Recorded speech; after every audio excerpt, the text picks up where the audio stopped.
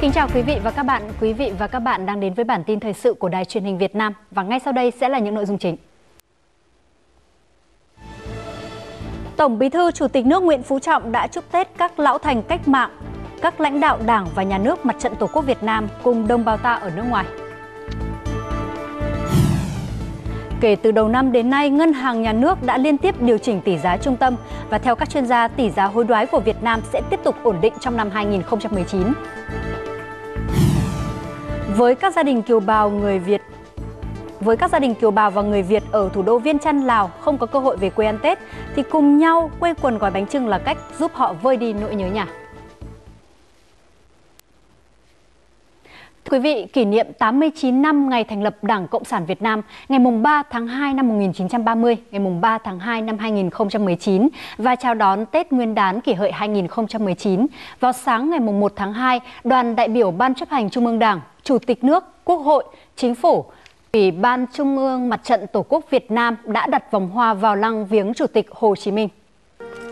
Tại lễ viếng, các đồng chí lãnh đạo Đảng, Nhà nước đã thành kính tưởng nhớ Chủ tịch Hồ Chí Minh, vị lãnh tụ thiên tài, anh hùng giải phóng dân tộc, người đã cống hiến trọn đời mình cho sự nghiệp của Đảng, của cách mạng và cuộc sống ấm no hạnh phúc của nhân dân.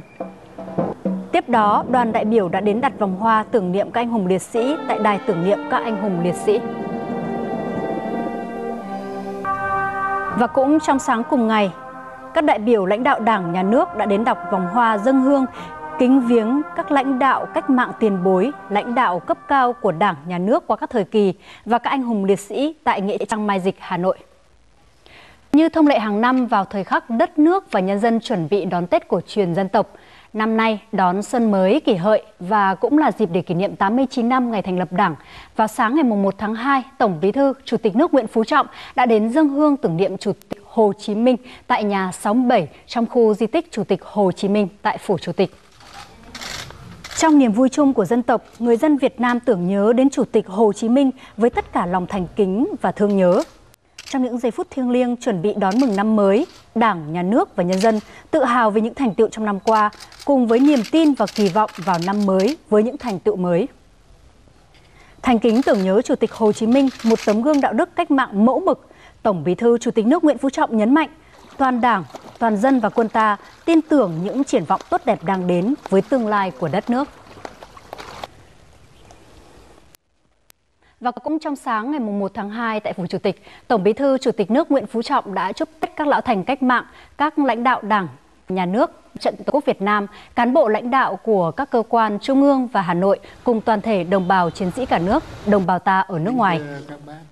Tổng Bí thư Chủ tịch nước Nguyễn Phú Trọng khẳng định những thành tựu đạt được trong năm qua đã góp phần củng cố, nâng cao niềm tin của cán bộ, đảng viên và nhân dân vào sự lãnh đạo của Đảng, trong không khí cả nước mừng xuân, mừng Đảng Cộng sản Việt Nam tròn 89 tuổi, Tổng Bí thư Chủ tịch nước chúc sự nghiệp cách mạng của nhân dân đạt được nhiều thành tựu to lớn hơn nữa.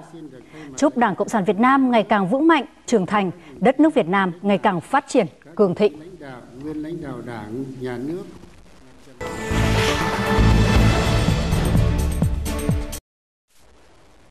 Xin được chuyển sang những thông tin thời sự đáng chú ý khác. Thưa quý vị, hiện nay Campuchia đang vào vụ thu hoạch lúa đông xuân 2018-2019. Bộ Nông lâm Ngư nghiệp Campuchia đã bày tỏ mong muốn chính phủ Việt Nam tiếp tục hỗ trợ thúc đẩy thương mại nông sản, đặc biệt là tiêu thụ lúa gạo do nông dân Campuchia sản xuất nhằm đảm bảo giá cả ổn định và có lợi cho nông dân.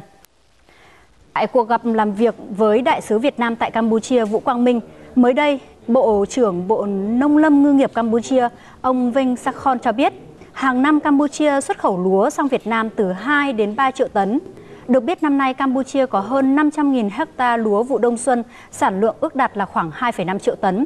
Giá lúa tươi tại đồng ở Campuchia chỉ khoảng là từ 3.500 đến 3.900 đồng một kg. Về phần mình, Đại sứ Vũ Quang Minh cho biết, thương mại song phương của hai nước, trong đó có các mặt hàng nông sản, gần đây đã phát triển mạnh mẽ, góp phần tăng kim ngạch thương mại hai nước lên 4,5 tỷ đô la Mỹ. Mới đây, Bộ Thương mại Campuchia đã có thư mời Bộ Công Thương Việt Nam sang thăm Campuchia vào giữa tháng 2 tới để đàm phán nội dung bản thỏa thuận thúc đẩy thương mại song phương giai đoạn 2019-2020, trong đó có các mặt hàng nông sản và lúa gạo. Thưa quý vị, chuối là sản vật không thể thiếu trên mâm ngũ quả ngày Tết ở mỗi gia đình. Trồng chuối vào đầu năm để thu hoạch vào dịp Tết Nguyên đán là mô hình đang trở nên phổ biến bởi dịp này nhu cầu mua chuối tăng rất cao. Và những ngày giáp Tết, các hộ trồng chuối tiêu hồng ở xã Liên Châu, huyện Yên Lạc, tỉnh Vĩnh Phúc đều tất bật để chuẩn bị cho những chuyến hàng cuối cùng cung ứng ra thị trường. Ông Dũng ở xã Liên Châu bắt đầu trồng chuối tiêu hồng từ năm 2014. Ông cho biết Năm nào vào dịp Tết, sản lượng chuối thu hoạch của riêng gia đình ông cũng tăng gấp 3 lần ngày thường. Trung bình một mẫu đất trồng chuối, ông thu hoạch 600 đến 650 buồng và chỉ trong một tuần trước Tết là có thể tiêu thụ hết. Cổ truyền dân tộc Việt Nam này thì nhà ai cũng phải có chuối thừa Tết. Đấy. Nhà, nhà, nhà nào phải mua từ à, một nải đến à, ba nải. Dùng chuối tiêu hồng này, là nó hiệu quả là cao hơn dùng các cây màu khác. Như ngày Tết này thì bán độ 300 nghìn một buồng. Từ 20 tháng 12 bắt đầu vào Tết người ta đi xăm từ tháng 10 à những mùa nào nhìn vào Tết nhiều là người ta sẽ ngắm mua vườn người ta mua trước nhưng để chuối thu hoạch vào đúng dịp Tết quả thơm ngon mẫu mã đẹp cần sự tính toán khéo léo của người trồng chuối này dầm à, đúng thời điểm nhất là từ 20 tháng riêng đến à, 20 tháng 2 trồng rồng trong một tháng. Chuối này sẽ vào Tết nhiều hơn. Ngày nào mình phải ra mình nghé mình xem vườn mình chăm sóc. Xem nó có sâu bọ gì không hay là mình phải mua vôi mình khử trùng đất. Cái mùa này là mùa nó nhiều xương để bọc áo tơi. Cho nó cẩn thận không là nứt nẻ hết. Không chỉ đổ buôn cho các thương lái, người dân xã Liên Châu còn tự vận chuyển chuối đến các chợ đầu mối của các tỉnh thành lân cận. Thế bán ở chợ Thái Thịnh một đấy, bán bán lẻ đấy. Bán nhiều năm đấy rồi, khách hàng nó quen mà, không bao ý đâu. Hàng thật, bán thật, ta phải chăng hợp lý. thế thì tiêu thụ nhiều hơn, thường lý thôi. Mỗi ngày cũng ở dăm bảy buồng, thí dụ bảy buồng độ năm sáu mươi nái. Nhờ có thu nhập ổn định, nhiều hộ nông dân ở xã Liên Châu đã mở rộng diện tích trồng chuối tiêu hồng. Hiện nay tổng diện tích trồng chuối tiêu hồng toàn xã là 80 hecta. Liên Châu cũng là xã được tỉnh Vĩnh Phúc lựa chọn xây dựng mô hình trồng chuối tiêu hồng thí điểm liên kết sản xuất theo chuỗi giá trị. Năm 2018, xã Liên Châu đã xuất khẩu được hơn 250 tấn, mở ra hướng phát triển bền vững cho chuối tiêu hồng tại địa phương. Năm 2018 thì à, doanh nghiệp mới làm thí điểm một lô hơn chục hecta thì cũng đã xuất khẩu trên à, thị trường Nga và Trung Quốc với những cái tiêu chí về chuỗi giá trị mục tiêu của địa phương là xuất khẩu trên địa bàn khó tính hơn Ờ, ví dụ Nhật Bản hay là Mỹ. Mặc dù phát triển muộn nhưng mỗi năm cứ đến giáp Tết Nguyên đán những dụng chuối xanh mướt vào vụ thu hoạch của xã Liên Châu lại trở nên nhộn nhịp và tấp nập hơn. Năm nay cũng vậy, mặc dù thời tiết mưa nhiều, nhưng người nông dân vẫn có một vụ chuối kịp phục vụ nhu cầu thị trường Tết Nguyên đán đang cận kề. Kể từ đầu năm đến nay, Ngân hàng Nhà nước đã liên tiếp điều chỉnh tỷ giá trung tâm. Tuy nhiên, tỷ giá trên thị trường chung vẫn khá ổn định và theo các chuyên gia, tỷ giá hối đoái của Việt Nam sẽ tiếp tục ổn định trong năm 2019. Trong tháng 1 năm nay, Ngân hàng Nhà nước đã nhiều lần tăng tỷ giá trung tâm giữa đồng đô la Mỹ và Việt Nam đồng. Thậm chí ngày 22 tháng 1, tỷ giá trung tâm đạt ngưỡng 22.879 đồng một đô la Mỹ, mức cao nhất kể từ khi tỷ giá trung tâm ra đời vào năm 2016 tăng cái giá trị đồng đô la Mỹ. À, trong bối cảnh là cái nguồn ngoại hối hiện nay về Việt Nam chúng ta tương đối dồi dào. Bởi vì đây là yếu tố thời vụ cuối năm à, âm lịch. À, trong đó có dòng kiều hối là một cái dòng rất rất là đáng kể. Tuy nhiên, Ngân hàng Nhà nước cũng đã có những điều chỉnh giảm tỷ giá trung tâm nhiều lần trong tháng 1. Nổi bật, ngày 28 tháng 1, tỷ giá trung tâm giảm 22 đồng so với phiên trước đó, theo đà giảm của đồng đô la Mỹ so với các đồng yên Nhật euro và bảng Anh tại thị trường châu Á. Điều này cho thấy khả năng điều phối chính sách tiền tệ của ngân hàng nhà nước. Việc ngân hàng trung điều chỉnh lên điều chỉnh xuống cách linh hoạt như vậy tôi nghĩ đây là một cái một cái rất tốt. Nó khiến cho thị trường ờ, cảm nhận được tức là cái cái cái cái cái, cái nhu cầu về ngoại tệ trên thị trường nó biến động như thế nào. Và đấy cũng là một cái tiến bộ về điều hành của ngân hàng trung ương, ngăn chặn tình trạng đầu cơ theo cái hướng tức là tỷ giá tăng lên. Dù tỷ giá trung tâm được điều chỉnh liên tục, tỷ giá tại các ngân hàng thương mại tương đối ổn định. Chuyên gia dự báo rằng tỷ giá tại thị trường sẽ tiếp tục ổn định trong năm nay do tình hình kinh tế vĩ mô của Việt Nam vẫn ổn định. Về cơ bản quan hệ cung cầu, chúng tôi cho rằng là năm nay nó vẫn ở mức rất là tích cực. Tức là đâu đó chúng ta thẳng dư nhiều hơn là thâm hụt. À, tuy nhiên thì nó vẫn còn những yếu tố thời vụ thì chúng ta cũng cần phải hết sức lưu ý. Lạm phát hy vọng được kiểm soát tốt. Ví dụ như là dưới cái mức là khoảng 4%, lãi suất sẽ được à, kiểm soát ở mức độ là ổn định. Theo chuyên gia, đồng Việt Nam trong năm 2019 sẽ biến động trong tầm kiểm soát, tức là khoảng 2 đến 3% so với đồng đô la Mỹ. Tuy nhiên, về chung và dài hạn, chuyên gia cho rằng chênh lệch giá trị giữa xuất và nhập khẩu hàng hóa dịch vụ có thể sẽ thâm hụt sau năm 2019. Điều này ảnh hưởng đến dòng ngoại tệ chảy vào và ra khỏi Việt Nam, từ đó khiến tỷ giá biến động nhiều hơn. Công an huyện Đắk Song, tỉnh Đắk Nông vừa triệt phá nhóm đối tượng cho vay nặng lãi với lãi suất lên tới 500% một năm, thậm chí là có người đã phải trả lãi lên tới là 900% một năm với thủ đoạn hết sức tinh vi. Do hoàn cảnh khó khăn và cần vốn làm ăn, người phụ nữ ở huyện Đắk Song, tỉnh Đắk Nông này đã vay của các đối tượng 3 lần với tổng số tiền 20 triệu đồng. Sau vài tháng, chị đã trả cả gốc và lãi 50 triệu, nhưng vẫn còn nợ của các đối tượng hơn 10 triệu đồng. Em vay của nó là 10 triệu tiền đứng, là cứ 1 triệu là 15 ngàn và 10 triệu là 10, 150 ngàn trên một ngày. Và cứ 10 ngày như thế là bên bên nó là cho người xuống nó lấy lãi một lần. Còn nếu như dụ như em mà có việc đi xa hoặc là mà chậm lãi lại một ngày á thì là nó phạt mà 150 đến thành 300 trên một ngày. Ngay sau khi tiếp nhận thông tin, Ban giám đốc công an tỉnh Đắk Nông đã trực tiếp chỉ đạo công an huyện Đắk Song triển khai các biện pháp nghiệp vụ, thu thập tài liệu chứng cứ và đã bắt giữ Nông Hồng Điệp và Đinh Cao Thế cùng trú tại tỉnh Bình Phước. Em cùng với Thế là đi dán giấy ở khắp huyện. Những người muốn vay tiền là người ta sẽ gọi vào số điện thoại đấy, thương lượng với mình là, là lời lãi như thế nào rồi số tiền cần vay rồi phải mang theo những gì khi đi. Theo lời khai ban đầu, khi có người liên hệ vay tiền thì các đối tượng tiếp cận đến tận nhà để xác minh rồi mới cho vay với lãi suất từ 5.000 đồng đến 15.000 đồng một triệu một ngày. Thậm chí có trường hợp lên đến 26.000 đồng một triệu một ngày, tức là 936% một năm. Trong phần tiếp theo của bản tin, vẫn còn rất nhiều lao động không có cơ hội về nhà sum vầy đón Tết với gia đình, nhưng dù ở xa, họ đã tự tìm thấy cho mình những niềm vui riêng. Hãy cùng gặp gỡ với đại sứ Thụy Điển, người luôn gắn bó và dành nhiều tình cảm cho Việt Nam để khám phá xem ông đã chuẩn bị gì cho Tết Nguyên đán năm nay. Quý vị, Tổng cục Dự trữ Nhà nước vừa hoàn thành kế hoạch xuất cấp gạo dự trữ quốc gia cho 14 địa phương, đảm bảo đủ về số lượng, an toàn về chất lượng theo đúng kế hoạch phân bổ tiếp nhận của các tỉnh. Cụ thể, cho đến nay, toàn bộ 7.800 tấn gạo đã được xuất cấp cho trên nửa triệu người khó khăn tại 14 địa phương, góp phần thực hiện các chính sách an sinh xã hội của chính phủ. Việc xuất cấp gạo cho người nghèo trong dịp Tết này được Bộ Tài chính thực hiện theo chỉ đạo của Thủ tướng Chính phủ. Trước đó, Bộ này đã chỉ đạo Tổng cục Dự trữ Nhà nước phối hợp với Ủy ban Nhân dân các tỉnh và các cục dự trữ nhà nước khu vực để thực hiện công tác giao nhận gạo theo đúng kế hoạch và quy định về xuất cấp hàng dự trữ quốc gia hiện hành. Nhân dịp chuẩn bị đón Tết cổ truyền của dân tộc, nhiều hoạt động tặng quà và chúc Tết các gia đình chính sách, các hộ nghèo và công nhân đã diễn ra tại một số địa phương. Ngày 1 tháng 2, tới thăm và tặng 100 suất quà Tết cho các gia đình chính sách và hộ nghèo có hoàn cảnh khó khăn trên địa bàn xã Ngọc Xá, huyện Quế Võ, tỉnh Bắc Ninh.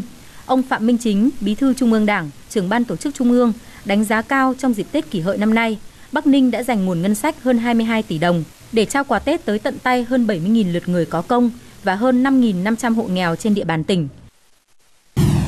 Đến thăm tặng quà các gia đình chính sách, hộ nghèo, hộ đồng bào dân tộc thiểu số tại huyện Bắc Bình, tỉnh Bình Thuận, ông Võ Văn Thưởng, Bí thư Trung ương Đảng, trưởng ban tuyên giáo Trung ương đã ân cần hỏi thăm, động viên và gửi lời chúc mừng năm mới tới các gia đình.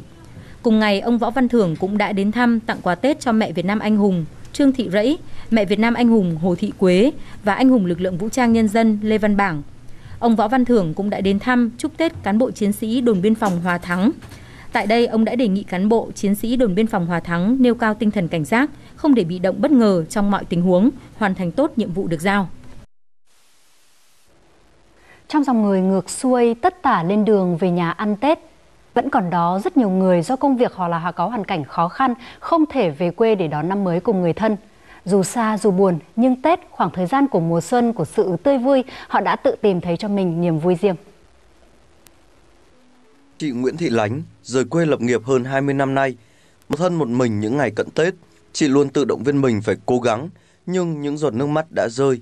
Có lẽ vì nỗi nhớ nhà, nhưng có lẽ còn là cảm giác xúc động khi có sự quan tâm của các chị em, bạn bè và người thân. Hoàn cảnh khó khăn này, nên là ừ, 7 năm nay chưa về quê ấy, à. nên là ăn Tết bố mẹ. Giao thừa thì nói chung là thì cũng mở tivi thì à, coi vậy thôi. Tại về hỏi thăm bố mẹ thì à, anh em ngoài quê. Ở đây thì các chị anh em thì cũng vui vẻ, lúc nào cũng quan tâm. Nên ăn Tết ở đây thì nói chung là quen cũng quen quen.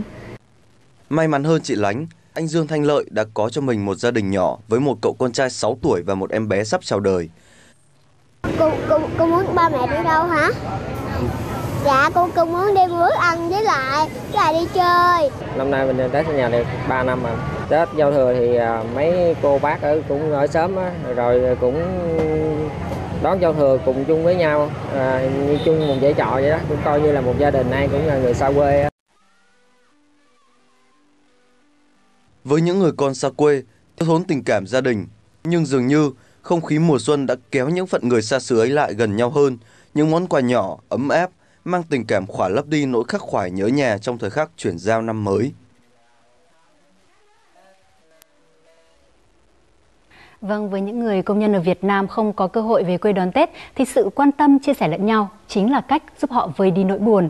Còn đối với những kiều bào sống xa quê hương không được về quê đón Tết thì sao ạ?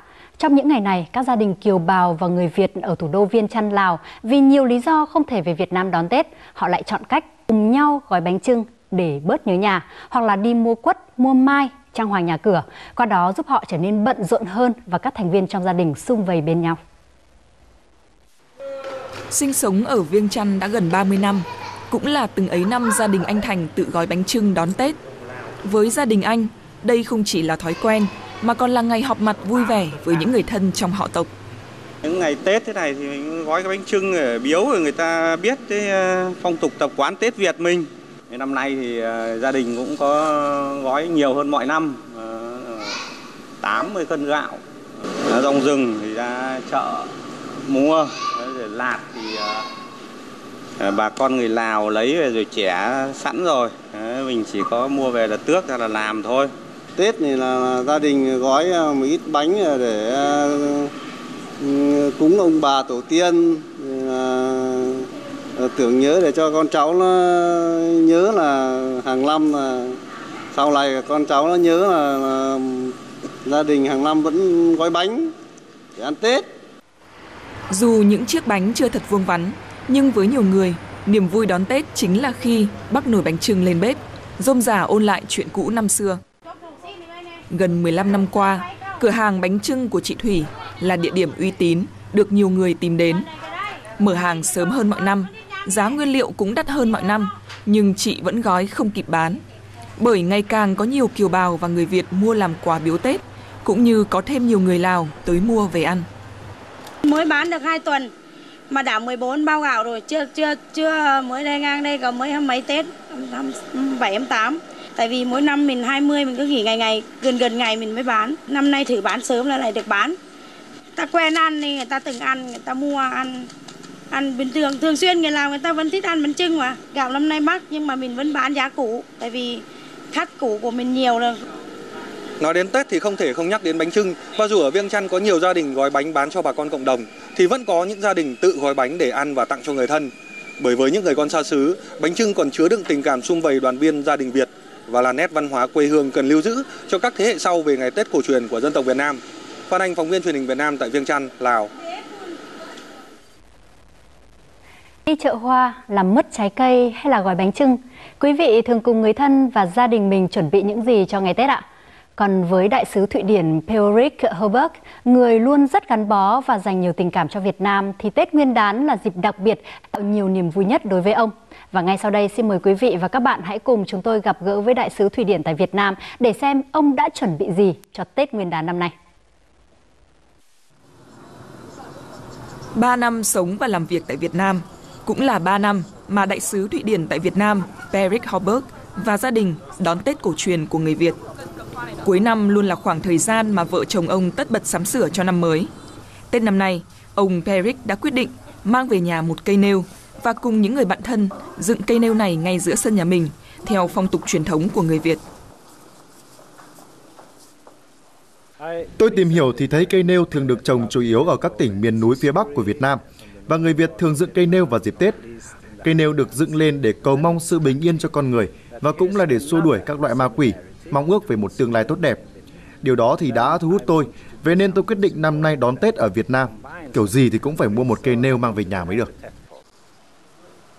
Cây nêu thường được dựng lên vài ngày trước thời điểm giao thừa cho đến hết ngày mùng 7 tháng 1 âm lịch. Tùy theo phong tục của địa phương mà các gia đình sẽ chọn và treo một số vật dụng mang tính biểu tượng lên cây.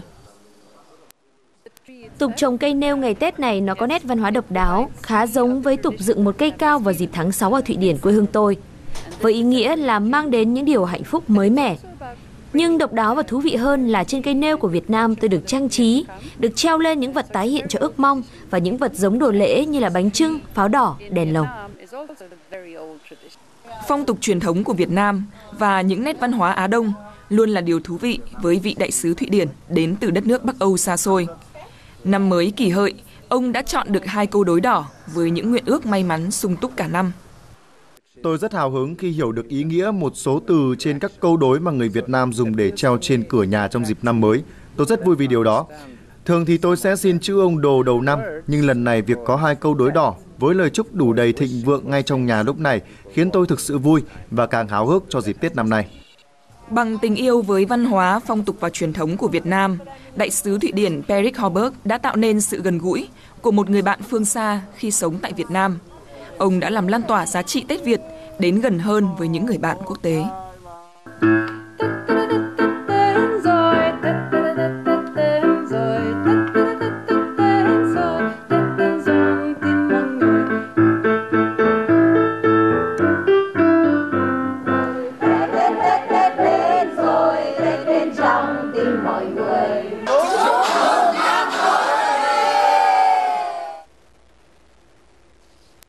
Quý vị, qua bàn tay khéo léo của người thợ, những vỏ ốc, vỏ sò thô sơ trở nên có hồn với nhiều hình hài màu sắc mang đậm chất biển, trở thành món quà có giá trị nghệ thuật cao.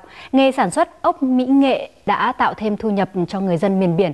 Và trong phần cuối của chương trình ngày hôm nay, hãy cùng chúng tôi chiêm ngưỡng những sản phẩm vỏ ốc đầy nghệ thuật và tìm hiểu cách làm ra chúng. Lựa chọn những nguyên liệu thích hợp cho từng loại sản phẩm tẩy rửa, mài, đánh bóng. Ngay từ công đoạn ban đầu, những mảnh vỏ ốc vỏ sò thô sơ được những người thợ tỉ mỉ sơ chế. Đầu tiên thì về mình phải phải rửa sơ qua nước lá sau đó mình mới bỏ nước tẩy vô. Nước tẩy thì mình sẽ ngâm qua một ngày.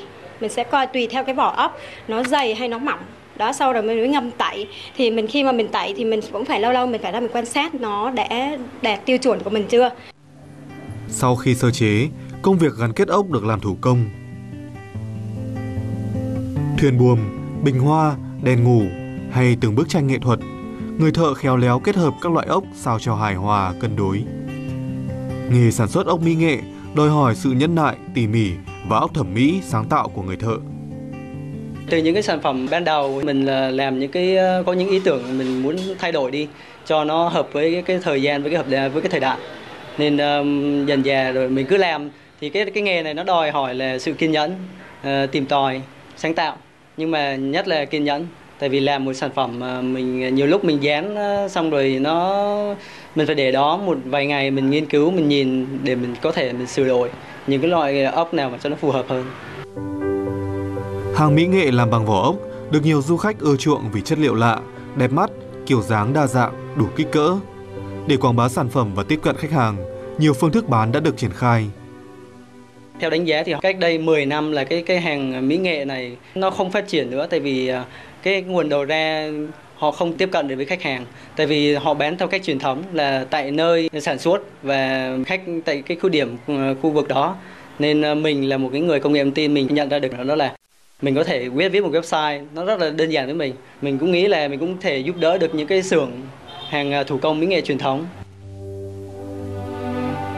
Ứng dụng công nghệ thông tin là một trong những cách làm hiệu quả để phát triển ngành nghề thủ công, giúp giải quyết bài toán đầu ra cho các sản phẩm truyền thống và tiếp cận được rộng rãi với khách hàng.